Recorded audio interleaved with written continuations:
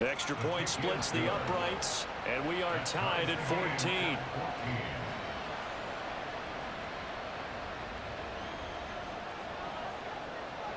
This one tied at 14 now as he sends this one away. And here comes a return from a few steps into the end zone. Now a crease here as he's past the 30. And he's going to wind up bringing this one inside